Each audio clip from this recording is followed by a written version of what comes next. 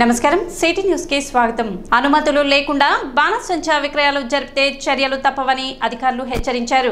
దీపావళి పండుగ సందర్భంగా సోమవారం స్థానిక సబ్ కలెక్టర్ కార్యాలయంలో అధికారులు సమీక్ష సమావేశం నిర్వహించారు.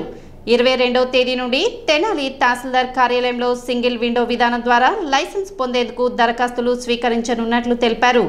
గతంలో కొత్తపేట టీజే కాలేజ్ గ్రౌండ్లో దుకాణాలు ఏర్పాటు చేయడం జరిగేదని అధికారుల సూచనల మేరకు ఈ సంవత్సరం విఎస్ఆర్ కాలేజ్ మరియు ఐతనగర్లోని స్కూల్ను పరిశీలిస్తున్నట్లు తెలిపారు. స్థల పరిశీలన దుకాణాల ఏర్పాటుపై వ్యాపారులతో మంగళవారం తెనాలి తహసీల్దార్ కార్యాలయంలో సమావేశం ఏర్పాటు చేసి విధి విధానాలను తెలియపరచడం జరుగుతుందని తెలిపారు. ఈ నెల ఇరవై ఆరో తేదీ లైసెన్స్లు పొందేందుకు చివరి తేదీగా నిర్ణయించనున్నట్లు స్పష్టం చేశారు. నిబంధనలకు అనుగుణంగానే వ్యాపారులు బాణసంచా విక్రయాలు చేయాలని వాటిని అతిక్రమించి విక్రయాలు జరిపితే చట్టపరమైన చర్యలు తీసుకుంటామని అధికారులు హెచ్చరించారు. సమావేశంలో తహసీల్దార్ Gopalakrishna municipal commissioner Bandi Seshanna trainee DSP NM Bhargavi GST అధికారి సుధాకర్ తెనాలి పొన్నూరు మంగళగిరి పోలీస్ అగ్నిమాపక శాఖ పంచాయతీ మున్సిపల్ అధికారులు పాల్గొన్నారు. సింగిల్ విండో విధానంలో తహసీల్దార్ కార్యాలయంలో మిగిలిన శాఖలను కూడా కలుపుకుంటూ ఒక రూమ్ ఏర్పాటు చేసి అక్కడ అప్లికేషన్స్ రిసీవ్ చేసుకొని వాళ్ళని గైడ్ చేసి ఎట్లా చలానా ఎలా కట్టాలి ఎలా అప్లికేషన్ పెట్టాలి దానికి ఏ విధి విధానాల్లో వాళ్ళు అప్లై చేసుకోవాలి ఒకవేళ లైసెన్స్ వచ్చిన తర్వాత షాప్స్లో సేల్ చేసేటప్పుడు ఫైర్ క్రాకర్స్ ఎలాంటి జాగ్రత్తలు తీసుకోవాలి అనే దాని మీద మేము అధికారులందరితో చర్చించడం జరిగింది. ఈ హోల్సేల్ షాపులు కావచ్చు రిటైల్ షాపులు వాళ్ళు కావచ్చు. ఈ లైసెన్స్ తీసుకున్న తర్వాత ఎలాంటి జాగ్రత్తలు తీసుకోవాలి షాప్స్ అరేంజ్ చేసేటప్పుడు షాప్కి షాప్కి మధ్య త్రీ మీటర్స్ డిస్టెన్స్ ఉండడం కానివ్వండి అక్కడ షాప్ దగ్గర ఫైర్ ఎక్స్టింగ్విషర్స్ శాండ్ బకెట్స్ అట్లాగే వాటర్ ట్యాంక్స్ లాంటివి అరేంజ్మెంట్ చేసుకోవాలనేది సూచనలు ఇప్పటికే ఉన్నాయి. మనం ఏంటంటే చాలా జాగ్రత్తలు తీసుకోవాల్సిన అవసరం ఉంది. ఎందుకంటే ఇన్ఫ్లామబుల్ మెటీరియల్ ఉంటుంది కాబట్టి మనం చాలా కేర్ఫుల్గా షాప్స్ని ఏర్పాటు చేసుకోవాలి. మరి ముఖ్యంగా ఈ షాపుల్లో చిన్నపిల్లలు అండర్ ఏజ్ ఉన్న పిల్లల్ని అసలు ఎట్టి పరిస్థితుల్లోనూ వినియోగించుకోవద్దని చెప్పేసి వారి సేవల్ని మేము ఈ షాప్స్ వాళ్ళని కోరదలుచుకున్నాం. ఈ అప్లికేషన్ పెట్టుకునే టైం కూడా కట్ ఆఫ్ డేట్ ఇరవై ఆరో తారీఖుగా నిర్ణయించాం. ఐతానగర్లో ఉన్న ఇంకో స్కూల్ను కూడా చూస్తాము. ఈరోజు మా అధికారుల బృందం ఈ స్కూల్స్ ఏవైతే ఎక్కడైతే అవకాశం ఉందో షా షాప్స్ అరేంజ్ చేసుకునే అవకాశం అక్కడ పరిశీలించి రేపు ఉదయం పదకొండు గంటలకి అంటే ఇరవై రెండో తారీఖు ఉదయం పదకొండు గంటలకి తహసీల్దార్ కార్యాలయంలో అట్లాగే హోల్సేల్ రిటైలర్ షాపులు వాళ్ళతో మీటింగ్ అరేంజ్ చేస్తాం. వాళ్ళు తీసుకోవాల్సిన జాగ్రత్తలు కూడా తెలియజేస్తాం. అంటే చిన్న చిన్న తోపుడు బండ్ల మీద ఈ అమ్మడం అది కరెక్ట్ కాదనిపిస్తుంది. దయచేసి అలాంటి వాటికి అవకాశం ఇవ్వకండి. మిగిలిన ఏదో కూరగాయలో లేకపోతే ఫ్రూట్స్ ఏదో అమ్మడం అంటే ఓకే. ఇవి మీ అందరికీ తెలిసిన విషయమే. దీపావళి టపాకాయలు ఏదన్నా పేలి ఏదన్నా ఎవరికైనా జనజీవనానికి ఇబ్బంది కలిగితే నడి రోడ్ల మీద కూడా చిన్న చిన్న షాపుల్లో కూడా ఇది మన కిరాణా షాపులో అమ్మినట్టుగా అమ్మడం మాత్రం ఎట్టి పరిస్థితుల్లో రైట్ కాదు. వాటిని యాక్సెప్ట్ చేయం. లైసెన్స్ లేకుండా ఎవరు కూడా దీపావళి టపాకాయల అమ్మకాలు జరపకూడదు. దీపావళి అంటేనే సంతోషం సో దీపావళి అందరం కూడా సంతోషంగా ఆనందంగా జరుపుకుంటుంటాం. దాంట్లో ప్రధానం ఏంటంటే టపాకాయలు పెంచుకోవడం దీంట్లో ఎంతో ఆనందాన్ని పొందుతుంటాం. అందువల్లే ప్రభుత్వం కానీ అలాగే వీటికి సంబంధించిన వారందరూ కూడా పెద్ద ఎత్తున యొక్క అమ్ముతూ ఉంటాడు టపాకాయలు అందులో భాగంగా ఇందాక చెప్పినట్టు ప్రకారం దీని ఒక రూల్స్ రెగ్యులేషన్స్ ఉన్నాయి. మన పట్టణం దగ్గరికి వస్తే కనుక విఎస్ఆర్ కాలేజీలో ఈ యొక్క అక్కడ ఉండేటువంటి వాళ్ళందరూ పోలీస్ స్టేలు వ్యాపారులందరూ కూడా అక్కడ ప్లేస్ ఏర్పాటు చేస్తున్నాం. సో రూల్స్ ప్రకారమే అన్నీ ఉంటాయి.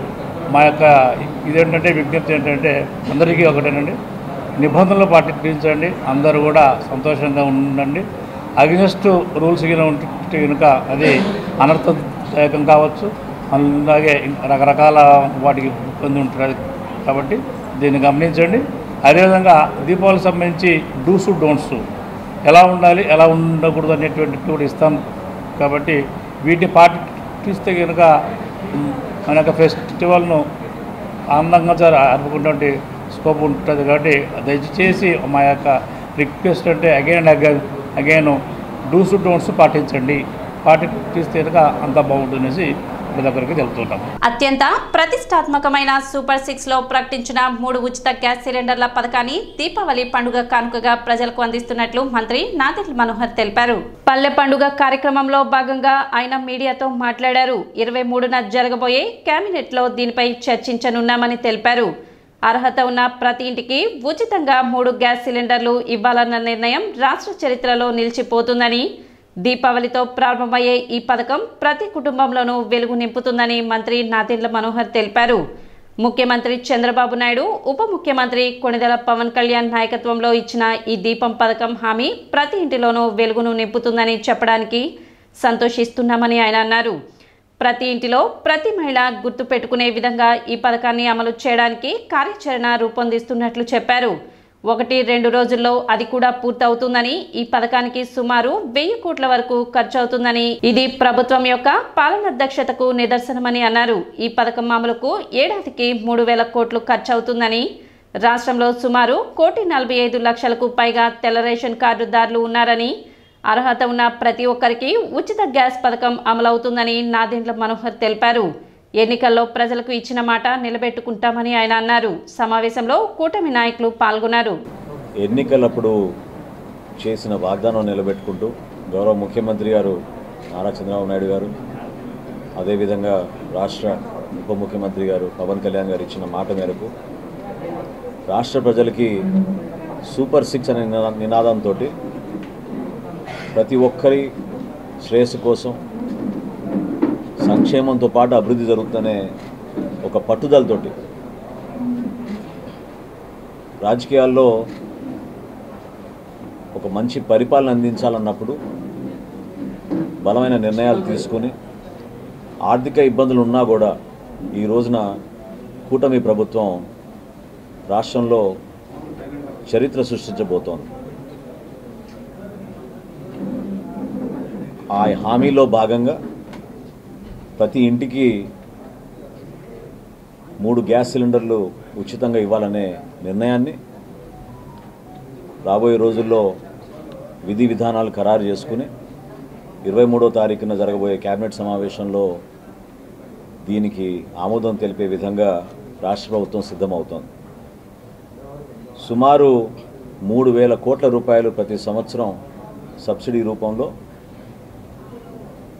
అర్హత ఉన్న ప్రతి కుటుంబానికి మూడు గ్యాస్ సిలిండర్లు ఒక సంవత్సరం అందించే విధంగా దీపావళి పండుగ సందర్భంగా ప్రతి ఇంట్లో సంతోషాన్ని నింపే విధంగా ఒక పండుగ వాతావరణం తీసుకొచ్చే విధంగా గౌరవ ముఖ్యమంత్రి గారు గౌరవ ఉప ముఖ్యమంత్రి గారు తీసుకున్న నిర్ణయాన్ని మనందరం కూడా పెద్ద మనసుతోటి ఇన్ని ఇబ్బందులు ఉన్నా కూడా ఇచ్చిన మాట నిలబెట్టుకోవడానికి వాళ్ళు చేస్తున్న ప్రయత్నాన్ని ప్రతి ఒక్కరు కూడా అర్థం చేసుకుని స్వాగతించి భవిష్యత్తులో మేము చేసే ప్రతి కార్యక్రమం పారదర్శకంగా నిజాయితీగా రాష్ట్రానికి ఉపయోగపడే విధంగా అంతిమంగా ప్రతి కుటుంబాన్ని ఏదో విధంగా ఆదుకోవాలనే తపనతోటి మేము చేస్తున్న అనేక సంక్షేమ కార్యక్రమాలు రాష్ట్ర ప్రజలకు ఉపయోగపడే విధంగా ముందుకెళ్తున్నాం.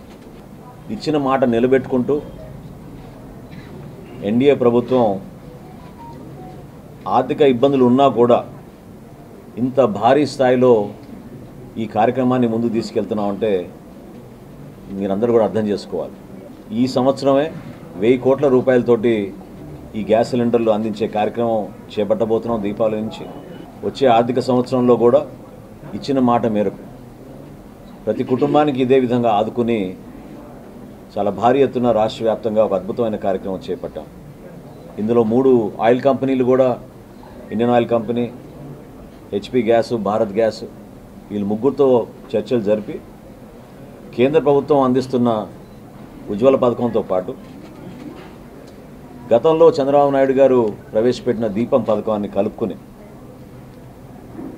మొట్టమొదటిసారి ఇంత భారీ స్థాయిలో ఈ కార్యక్రమం చేపట్టాం. కేంద్ర ప్రభుత్వం ఇచ్చేది కేవలం తొమ్మిది లక్షల అరవై వేల మందికే. కానీ రాష్ట్రంలో ఉన్న తెల్ల కార్డులు సుమారు కోటి నలభై లక్షలు ఉన్నాయి. అందులో అర్హత ఉన్న ప్రతి ఒక్కరికి కూడా ఈ గ్యాస్ సిలిండర్ అందే విధంగా పౌర సరఫరాల శాఖ నుంచి మేమందరం కూడా సిద్ధమయ్యాం. పౌర సరఫరాల శాఖ నుంచి గతంలో కూడా మీరు చూశారు. కనీసం ధాన్యం అమ్ముకున్న రైతులకి డబ్బులు ఇవ్వలేకపోయారు వీళ్ళు. కూటమి ప్రభుత్వం వచ్చిన తర్వాత పదహారు వందల డెబ్బై నాలుగు కోట్ల రూపాయలు రైతులకు ఇవ్వాల్సిన బకాయిలు చెల్లించాం. మిల్లర్లకి కూడా వేల కోట్ల రూపాయలు బకాయిలు వదిలేసి వెళ్ళారు వీళ్ళు. సరుకులు సరఫరా చేసిన అనేక మంది కంపెనీలకి కూడా వీళ్ళు బకాయిలు వదిలేసి వెళ్ళారు.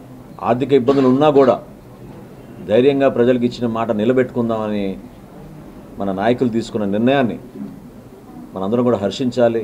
ప్రముఖ సినీ హీరో నందమూరి బాలకృష్ణ సినీ నట స్వర్ణ మహోత్సవం సందర్భంగా తెనాలిలో జరిగిన సినీ సంగీత విభావరి శ్రోతలను అలరించింది. స్వరలయ వేదిక ఆధ్వర్యంలో కొత్తపేటలోని రామకృష్ణ కవి కళాక్షేత్రం నందు జరిగిన ఈ సినీ సంగీత విభావరి ప్రేక్షకులను అలరించింది. వివిధ ప్రాంతాలకు చెందిన గాయని గాయకులు బాలకృష్ణ సినీ గేయాలు ఆలపించారు. ప్రేక్షకులు సంగీత అభిమానులు పెద్ద సంఖ్యలో పాల్గొన్నారు. కార్యక్రమాన్ని స్వరలయ వేదిక అధ్యక్షులు లక్కరాజు సాయి పర్యవేక్షించారు. బహుశా అందువల్ల బాగాలేదేమో అదేం రాశాను అనేది. రాళ్ళల్లో ఇసకల్లో రాసాము ఇద్దరి పేర్లు. కళ్ళు మూసి చిన్నగా కలిపి చదువుకో ఒక్కసారి. కలలలోన తీయగా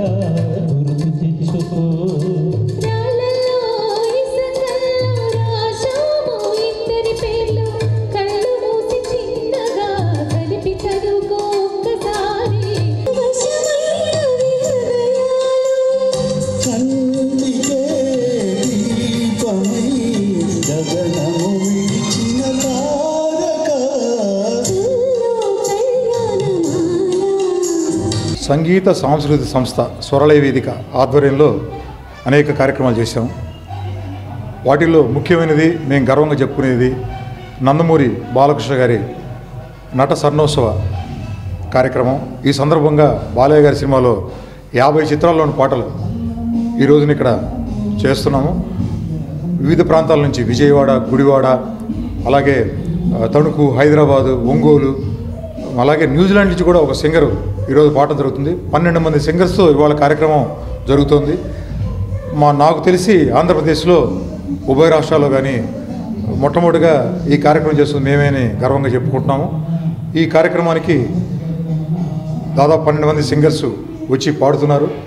ఇది మహత్తరమైన కార్యక్రమం.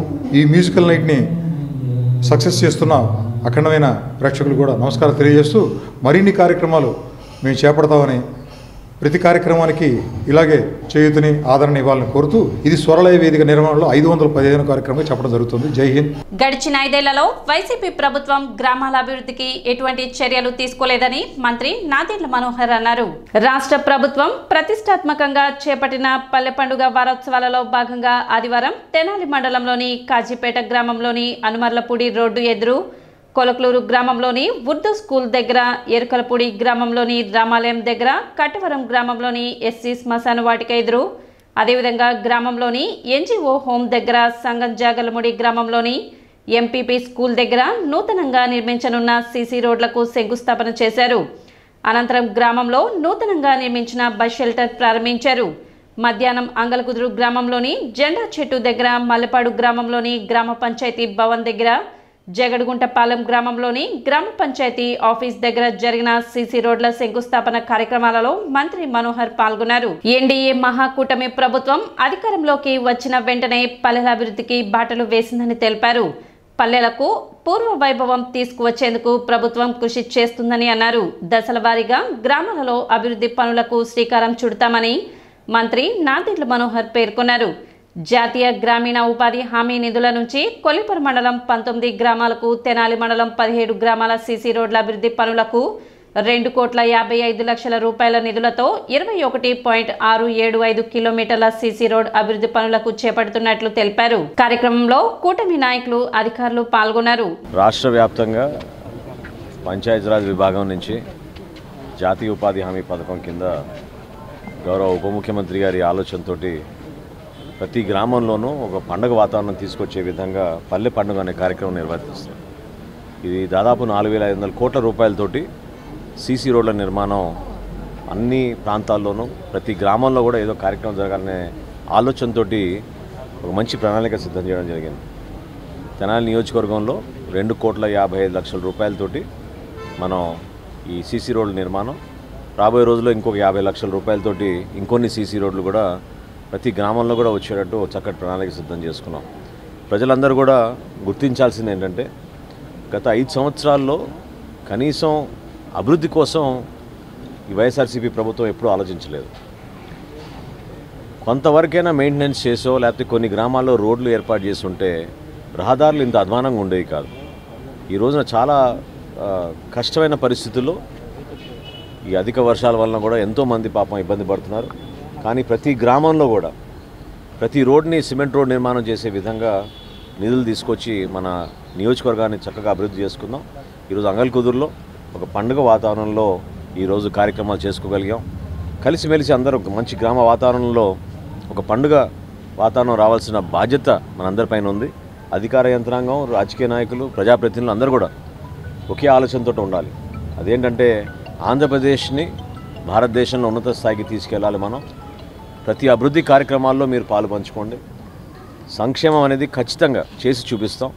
వాటితో పాటు అభివృద్ధి కూడా సమానంగా ప్రతి గ్రామంలో కూడా మంచి జరిగే విధంగా మన బిడ్డలకి ఉపాధి అవకాశాలు వచ్చే విధంగా రహదారులు ఎక్కడ కూడా ఇబ్బంది కలగకుండా చూసుకునే బాధ్యత మేము తీసుకున్నాం కాబట్టి తప్పకుండా తెనాలి నియోజకవర్గంలో ఒక మంచి వాతావరణం తీసుకొచ్చడానికి మనందరం కూడా కలిసి పనిచేద్దాం. సిటీ న్యూస్ ఇంతటితో సమాప్తం. నమస్కారం.